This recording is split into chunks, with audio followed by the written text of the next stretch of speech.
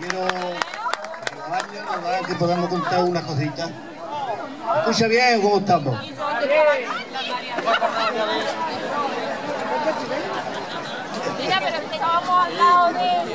Muy brevemente quiero hacer historia de nuestras fiestas. La raíz primitiva en esto existen muchas opiniones que lo avalan. Fue por los forticios de verano o invierno es decir, cuando el sol tiene más recorrido, el día más largo del año, pues nos encontramos con el Juan. Ah, y cuando el recorrido es el menor del año, pues nos encontramos con el día de Eva o con la Navidad. Luego hablando de, lo vivido día de San Juan como en, como mi juventud ninguno de luego, de normal. Años 60, aquella quinceañera con la cinta bordada prendida sobre sus pesos, señores, el que no tenía caballo buscaba un mulo o un burrico, pero todos corríamos la cinta, ilusionados con la, relacionarnos con la niña que te gustaba y luego llevar la cinta en el sombrerillo en la panda, el día de Eva. El agradecimiento se invitaba a un puertillo de Arbellana, un refresco, todos los gastos eran más chicos. Los mayores mercadeaban los, los ajustes de ciega, contratos de barcinadores, trilleros, etcétera. Se vaciaban las garrafas de vino infartar toda la noche, toda la tarde y noche, el toque, el baile y el cante de la fiesta y por supuesto el juego de la rueda. El vinillo empujaba a muchos aficionados a cantar flamenco. Y lo que tuvo mucho éxito fueron los teatrillos.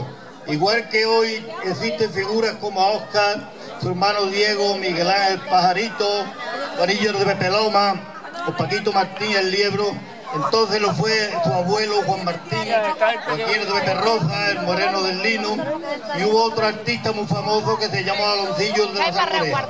Bueno, ya recientemente vivimos la fiesta de Nahuatl organizada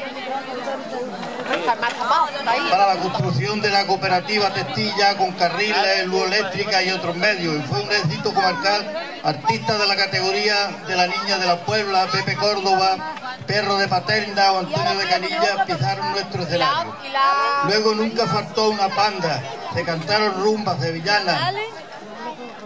Participaban los aficionados al flamenco y lo que la gente más esperaba era la historia en verso cachonda que nos contaba Juan Lucas o el Cajeta.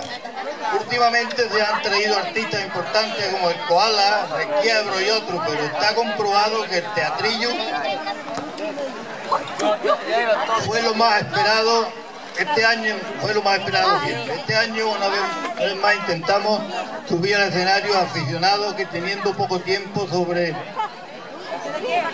tiempo libre por estudio o por trabajo, sin embargo, ensayan con ilusión nuevos temas para estrenarlos ante ustedes, deseando una feliz fiesta. ¡Viva el Día San Juan! ¡Viva el Día San Juan! un fuerte aplauso, dejo aquí con, con Alonso. Muchas gracias, Alonso. Esta noche mi esta aquí, esta noche, verás, verás, cómo está medianoche. Vamos a hacer rapidito y entonces yo voy a presentar para evitar ese tiempo en su viva. Entonces, primeramente, vamos a empezar con una señora que es vecina, que todos la conocéis, Monse, amante de la cultura. Ella ha organizado una pequeña biblioteca en el local social de La Higuera. Su deseo es promocionar la cultura. Gracias, gracias. Y nos va, y nos va a ofrecer esta noche unos temas de García Lorca. Ya ven ustedes qué arte tiene. Arriba, Monse, vamos a ir, vamos arriba.